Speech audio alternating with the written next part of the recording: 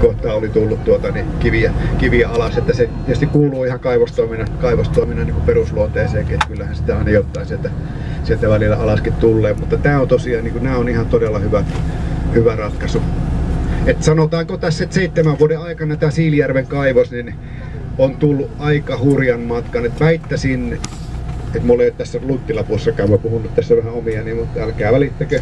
Niin tuota, väittäisin, että ollaan varmaan yksi Euroopan moderneimpia kaivoksia tällä hetkellä. Et meillä on, on tosiaan tämä tutkajärjestelmä ja sitten tuo tuotannonohjausjärjestelmä muun muassa noissa autoissa, niin on kyllä tuota, niin on niin kuin olemassa. Eli me pystytään jokainen tuommoinen dumperi, mikä tuolla on, niin siinä on GPS-paikan niin ja tuota, sitten tuotannon ohjaus näkee koko ajan, missä auto on menossa, mitä, mikä on se moottorin lämpötila, kierrosluvut, tulot, ja muuta. Pystytään myös ennakoimaan niin autojen huollot ja huoltotarpeet sitä kautta.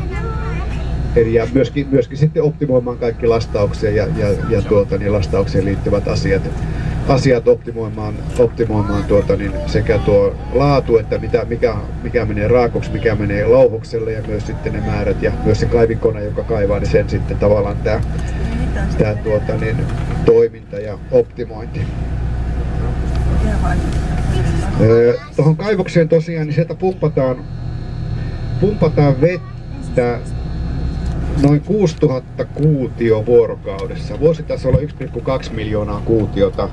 Se vastaa noin 20 000 suomalaisen vuosittaista vedenkulutusta. Ja tuota, nyt